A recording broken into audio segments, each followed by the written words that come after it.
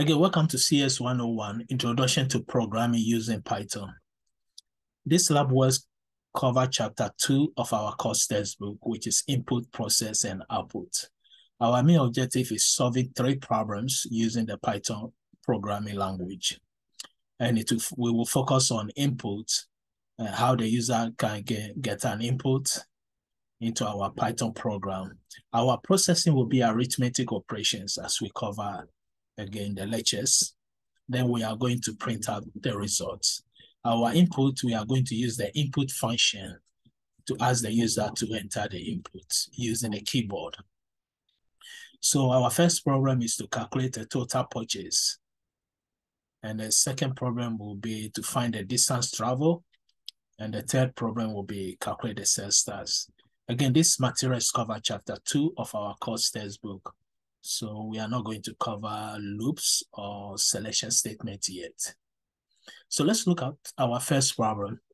A customer in a store is purchasing five items. Here they say we should write a program that asks for the price of each item, then display the subtotal of the sale, then the amount of sales tax. The amount of sales tax will be 7% of the subtotal. Then the total amount will be the subtotal of the cell plus the amount of sales tax. So let's look at the code here. So we have a comment here saying that we need variables to hold the prices of each item, also the subtotal, and then the total. So the five items, we use the variable item one, item two, item three, item four, and item five. We want to make sure that there's no any garbage or any data because anytime we have a, a memory, the operating system uh, randomly allocate a memory space. So it may allocate a memory space whereby there's some data there that has been used before. So we make sure that we initialize all the five variables to zero uh, which means we are deleting everything from the variables. Then we have the subtotal, which will be the total of the five items. Then we need to find the task. Then the final total will be the subtotal plus the task. So these are the variables we need. Eight variables, five for the input, the price amount, then one variable to find the subtotal, one variable to find the task, and one variable to find the total. So next, we are going to ask the user to enter the five prices of the items. We also declare a constant variable here named tax rate. And we know from the question, our tax is 7%, which is the same as 0 0.07. So here we get the price of each item. And we are using the input function and telling the user to enter the price of item one up to item five. Now here we are using the float because when we use an input function, the data that we get will be in strings. And since we are going to perform arithmetic operations, we cannot use the data type string. So either we use float or int. Float means we have a decimal values. So the price can be maybe $20.50, which will be 20.50. So all the five prices, we convert the data or the price to float because we are going to use it for arithmetic operation, which will be the next step. So here we are going to find the subtotal. The subtotal will be the item one plus item two plus item three plus item four plus item five. Now we need to find this, the sales tax. So the sales tax will be the subtotal times the tax rate, which is 0.07. Then after that, we are going to find the total amount of the wholesale. So the total will be the subtotal plus the tax. So we finish with our operation, operations. Next, we are going to print our values. So here we say the subtotal uh, will be, we are using a format function here, and here we are formatted to two decimal places.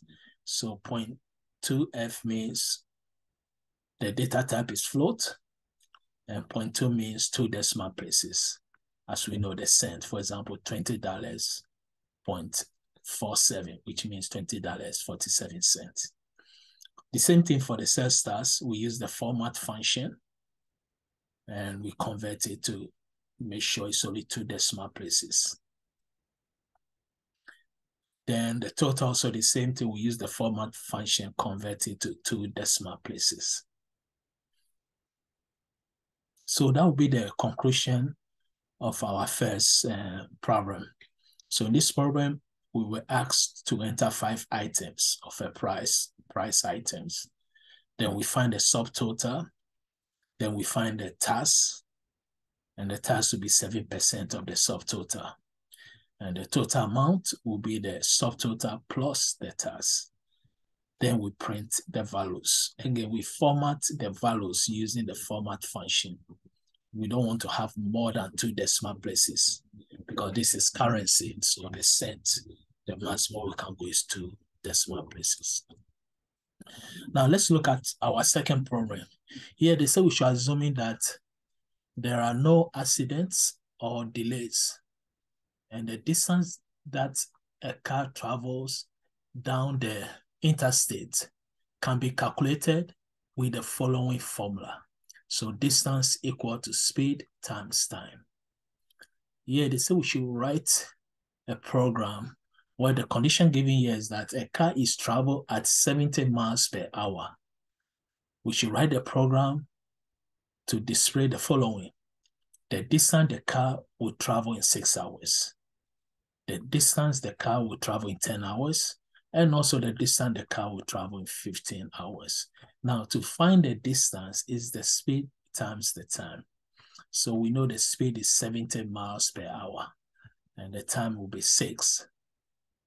So the distance the car will travel in six hours will be 70 times six.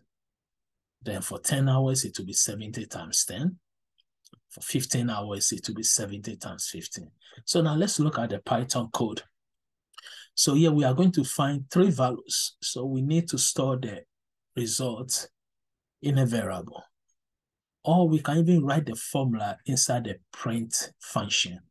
Then in this case, we don't need to store the result, but rather calculate it and display the result using the print function. Here we decided to have three variables. The first will be distance for six hours.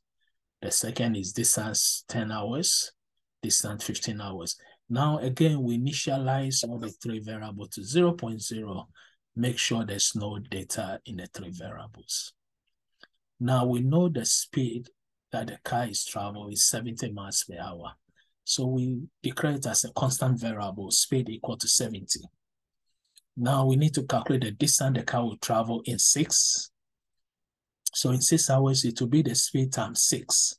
Because we know distance equal to speed times time. Uh, for 10 hours, it will be speed times 10. And for 15 hours, it will be speed times 15.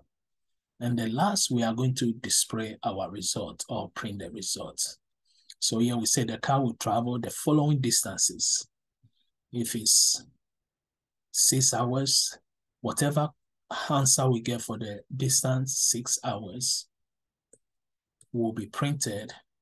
And here we are going to have a, a sentence saying that the distance six hours is miles in six hours. Distance 10 hours is miles in 10 hours. Distance 15 hours is miles in 15 hours.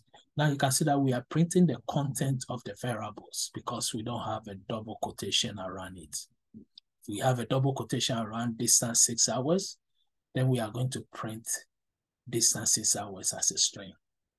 Uh, but when we don't have no co double quotation around it, it means again, we are printing the content. So that will be the conclusion for our second problem. Now let's go through our last problem, which is the sales tax. Here they say we should write a program that will ask the user to enter the amount of a purchase.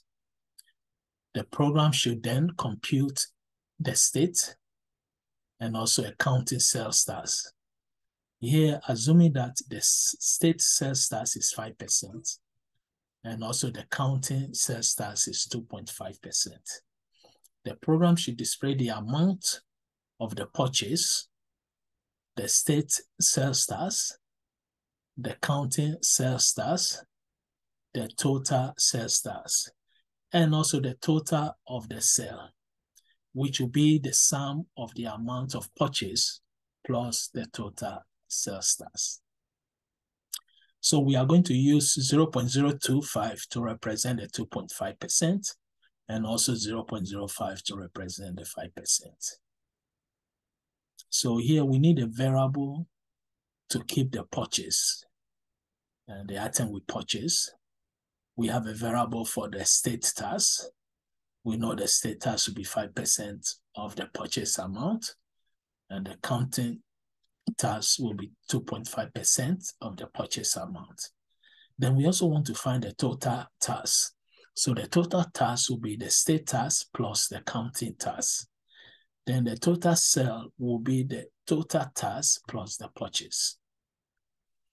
So here we declare constant value since the, the tax percentage are constant value. We use the constant variable here. We initialize the state tax to 0.05 and also the counting tax rate to 0.025.